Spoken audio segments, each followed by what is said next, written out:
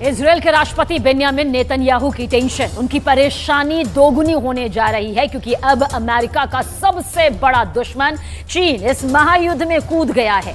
Israel हार जाए, इसके लिए चीन ने एक बेहद, एक बहुत ही बड़ा कदम उठाया। ये ऐसा कदम है जिसके आगे अमेरिका भी मजबूर नज़र आने लगा है।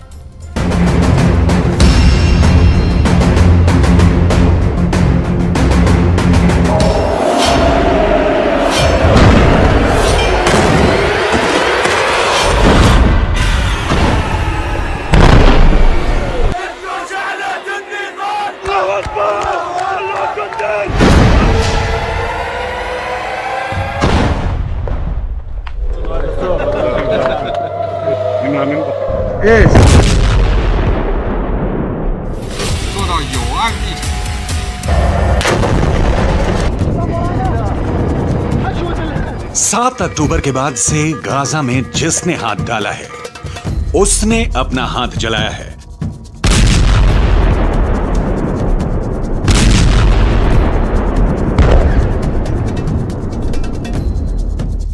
गाजा जलता हुआ कुआँ बन चुका है।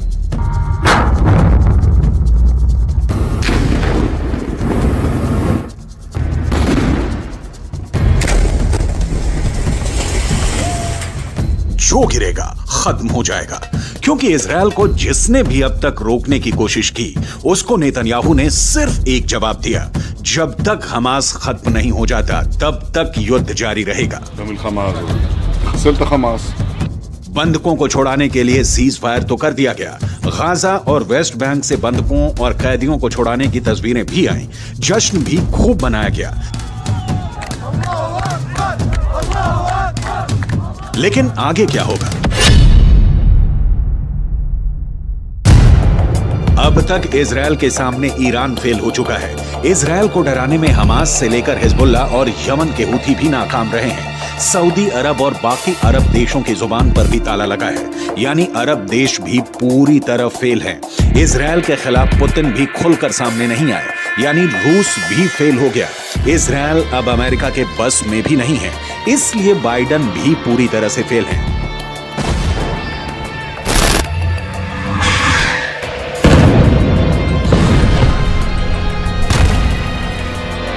ऐसे में इसराइल को कौन रोकेगा? इसराइल को कौन टोकेगा? गाजा पर फिर बमबारी होगी। इसकी पूरी गारंटी है। ऐसे में इसराइल के युद्ध को कौन खत्म करेगा? कौन इसराइल से टक्कर लेगा? कौन है जिसमें इतनी हिम्मत है कि वो इसराइल से सीधे टकरा जाए? तो इसका एक जवाब आया है।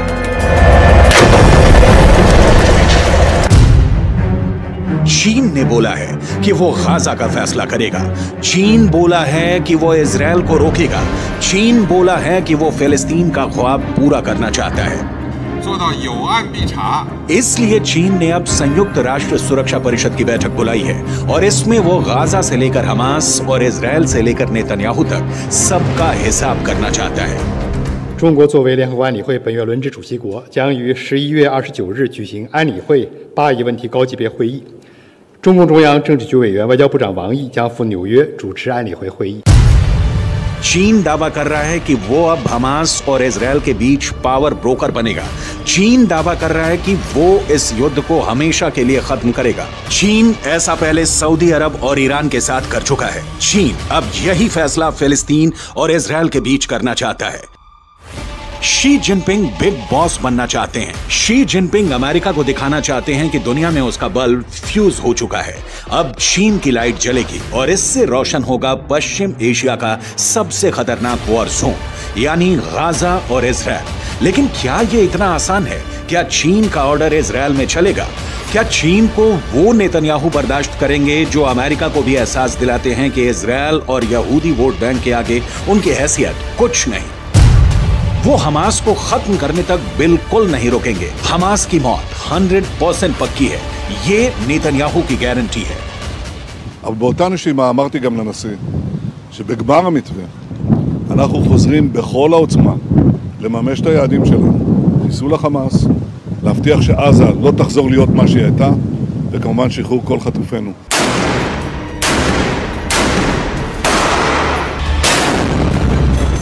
गाजा को मिट्टी में मिलाने की मुहिम तेज होगी। ये बात नेतन्याहू ने साफ़ कर दी है।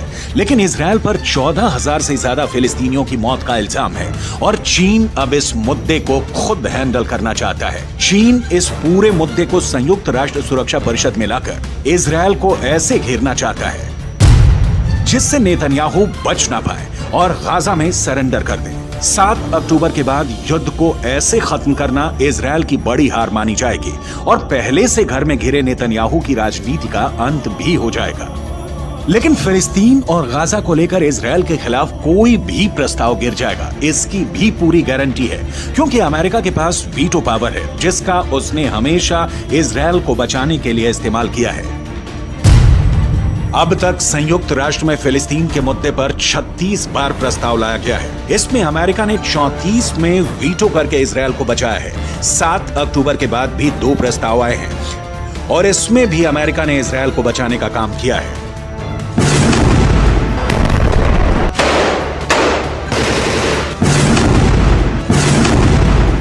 अब गाजा में इसराइल को रोकने के लिए चीन ने सुरक्षा परिषद में बड़ी तैयारी की है लेकिन नेतन्याहू ने गाजा पहुंचकर इसका पहले ही जवाब दे दिया है कि उनको डराने में कोई कामयाब नहीं हो पाएगा צוהריים עם הלוחמים הגיבורים שלנו. אנחנו עושים כל מאמץ להחזיר את אה, חטופינו ובסופו של דבר נחזיר את כולם. יש לנו שלושה יעדים במלחמה הזאת. לחסל את החמאס, להחזיר את כל חטופינו ולהבטיח שעזה לא תחזור להיות איום למדינת ישראל. ואני פה להגיד לחברים כאן, ללוחמים כאן, שאומרים לי את אותם הדברים, ואני חוזר ואומר את זה לכם, אזרחי ישראל. אנחנו ממשיכים עד הסוף, עד הניצחון. שום דבר לא יעצור אותנו.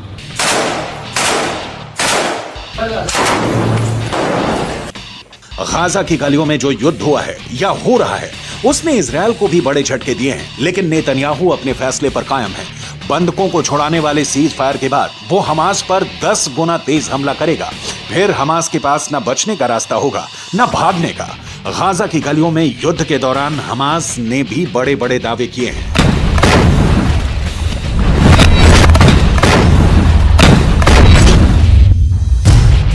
हमास का दावा है कि उसने इसराइल के 180 टैंक और बख्तरबंद गाड़ियों को हमले में फोड़ दिया है। गाजा से लगातार ऐसी तस्वीरें आई हैं, जिसमें इसराइली टैंक पर घात लगाकर हमले किए गए। इसराइल ने खुद माना कि अब तक ग्राउंड ऑपरेशन में उसके 70 से ज़्यादा सैनिक मारे जा चुके हैं। 250 से ज़्यादा सैनिक जख्मी हुए हैं। लिहाजा हमास के खिलाफ जो ताकत इसराइल माना जाता है उसके मुताबिक नतीजे तो इसराइल को भी नहीं मिले हैं हालांकि नेतन्याहू के सामने अपनी छवि को बचाए रखना बड़ा चैलेंज बन चुका है और गाजा पहुंचकर उनकी पहली कोशिश इसी तरफ नजर आती है ישבתי עם סגן הרמטכ"ל, עם המפקדים, ועל הקיר היה כתוב עם ישראל חי. אז עם ישראל חי, ועם ישראל גם מנצח. בזכותכם, בזכותכם. תודה לכם.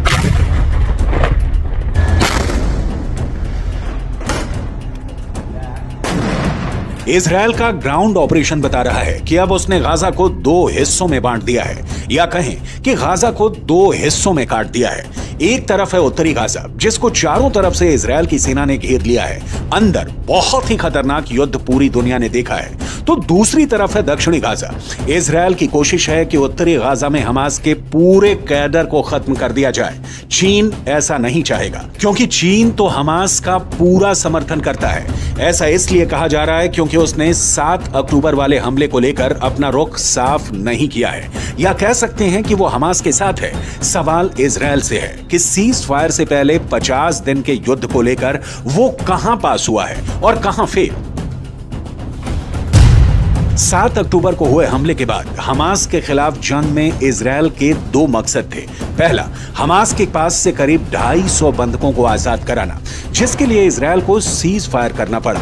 यानी उसका युद्ध और बमबारी काम नहीं आई, वो फेल हो गए। दूसरा मकसद इसराइल हमास को जड़ से खत्म करना चाहता है, लेकिन अभी तक इसमें भी इसराइल फेल ही साबित हुआ है। बहुत יש רוח, יש עוצמה, יש נחישות, ויש תוצאות. גם את זה, וגם את זה, וגם את זה. אנחנו כל הכוח. הם פה בגלל ישראל, נכון? אני אומר לך, כמו שאמרתי לביידן, אנחנו הולכים לעשות את זה, להשלים את זה, שלא יהיה לאף אחד ספק, לא מבחינת רק הכוונה, אלא גם היכולת. אני מאמין בכם. गाजा में सीज फायर करके इसराइल को वक्त मिला, उसकी सेना को वक्त मिला, हमास को भी वक्त मिला। दोनों तरफ़ अपनी ताकत को फिर से जुटाने का काम हुआ होगा, ताकि युद्ध के अगले चरण को और खतरनाक बनाया जाए। लेकिन यहाँ के मुकाबले इसराइल का अगला चैलेंज हिजबुल्ला भी है, और यमन की हूथी सरकार भी। दोनों ही इस सीज फायर का हिस्सा नहीं रहे हैं, यानी इसराइल पर उस फ्रंट से हमला नहीं होगा, इसकी कोई गारंटी नहीं है। गाजा से दूर एक और खबर जिसने पूरी दुनिया को चौंका दिया। सीज फायर से पहले जब इसराइल गाजा पर हज़ारों टन बॉम्ब बरसा रहा था, तब पुतिन ने यूक्रेन के महायुद्ध को लेकर एक ऐसा फैसला किया जिसने जो बाइडेन को परेशान कर दिया। दरअसल बताया यह जा रहा है कि यूक्रेन में ऐसी सेना उतर चुकी है जो हमास से भी ज़्यादा खतरनाक और खौफनाक है।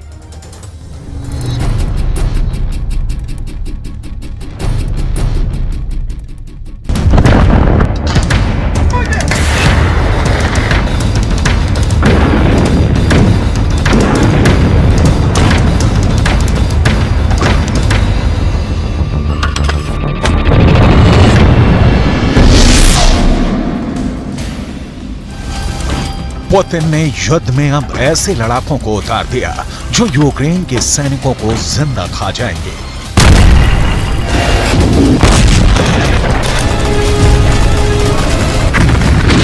पुतिन ने युद्ध में ऐसे सैनिकों को उतार दिया है, जिसे देखकर जेलेंस्की के सैनिक खौफ में भर गए हैं।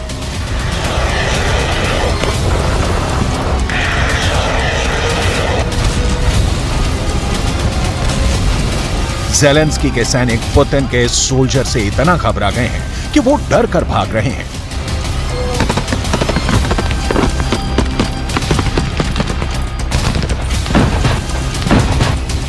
यूक्रेन के सैनिकों को समझ में नहीं आ रहा कि गोली बारूद को तो चकमा दे दें, लेकिन उससे कैसे बचें जो उन्हें ज़िंदा खाने को बेताब है?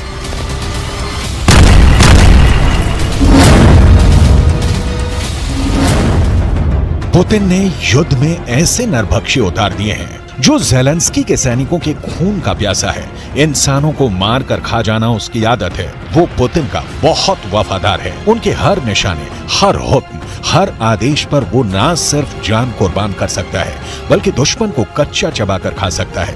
इसकी दरिंदगी से पुतिन इतने खुश हैं कि उन्होंने इस नरभक्षी को बहुत बड़ा इनाम देने का ऐलान किया है। कौन है ये नरभक्षी, जिस पर पुतिन को इतना भरोसा है कि वो है? तो रूस ये जंग हर हाल में जीतेगा। पुतिन के इस फौज के रहते जेलेंस्की की हार तय है। इस नरभक्षी के कारनामों को देखने के बाद पुतिन अब आक्रामक हो गए हैं। पुतिन के इरादे और खतरनाक हो गए हैं। पुतिन के निशाने पर जेलेंस्की का घर है। डेढ़ साल से भी ज़्यादा वक्त से चल रहे इस युद्ध को पुतिन अब जल्द खत्म करना चाहते हैं। वो भी अपने तरीके से। पुतिन को जीत चाहिए, वो भी हर कीमत पर। पुतिन को यूक्रेन के सैनिकों की हार देखनी है, वो भी हर हाल में। इसके लिए पुतिन ने जेल में बंद खूंखार कैदियों और नरभक्षी तक को युद्ध में धकेल दिया।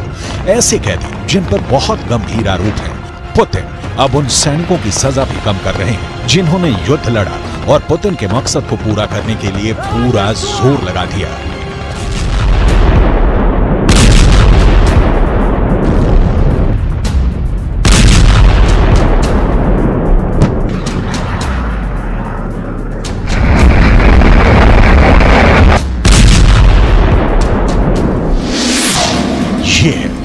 का खूंखार अपराधी डेनिस गोरिन, जिसकी सजा को पुतिन ने खत्म करने का फैसला किया है। पुतिन ने डेनिस को माफ़ कर दिया। इतने खूंखार अपराधी को पुतिन का यह इनाम इसलिए मिला क्योंकि उसने पुतिन के एक आदेश पर यूक्रेन की सेना में ऐसी दहशत पैदा कर दी कि कई मोर्चों पर रूस ने बिना लड़े युद्ध जीत लिया।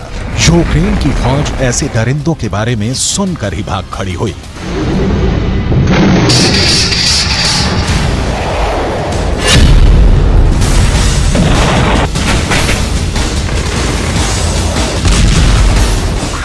डेनिस गोरिन दरिंदा है। ये पुतिन को भी मालूम है। डेनिस गोरिन इंसानों को कच्चा खा जाता है। ये भी उनके कमांडरों को मालूम है। डेनिस गोरिन इंसान के मरने से पहले उसे खाना शुरू कर देता है।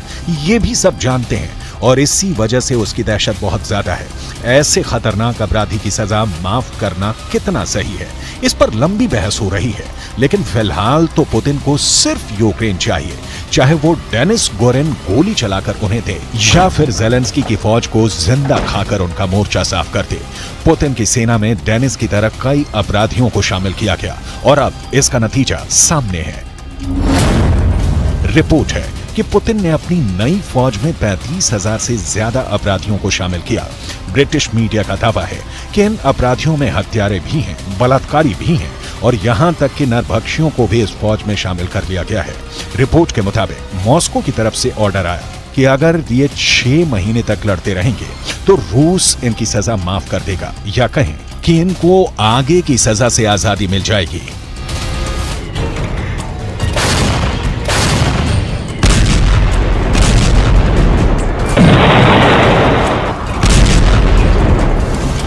डेनिस गोरिन भी यूक्रेन के खिलाफ जंग में लड़ा और घायल हो गया। फ़िलहाल उसका इलाज चल रहा है और अब पुतिन ने डेनिस गोरिन के युद्ध से खुश होकर उसकी सजा को माफ़ करने का फैसला किया है। रूस के इस फैसले पर पूरी दुनिया में सवाल उठ रहे हैं। खुद रूस के लोगों में इसको लेकर बहस हो रही है कि क्या ऐसे खूंखार अपराधी की सजा को माफ़ किया जा सकता है और इससे समाज में क्या संदेश जाएगा? चौवालीस साल के डेनिस गोरिन को रूस की अदालतों में दो हत्याओं का दोषी ठहराया गया था। पहली बार डेनिस गोरिन ने 2002 में हत्या की और फिर मर्डर के बाद उसने उस व्यक्ति के अंगों को खाना शुरू कर दिया, जिसकी उसने हत्या की थी। इस अपराध के लिए डेनिस गोरिन को रूस की अदालत ने 10 साल की सजा सुनाई, लेकिन अच्छे बर्ताव की वजह से डेनिस गोरिन को सजा पूरी होने से पहले ही छोड़ दिया, ताकि वो अपनी बाकी की ज़िंदगी को बेहतर तरीके से गुजारेगा।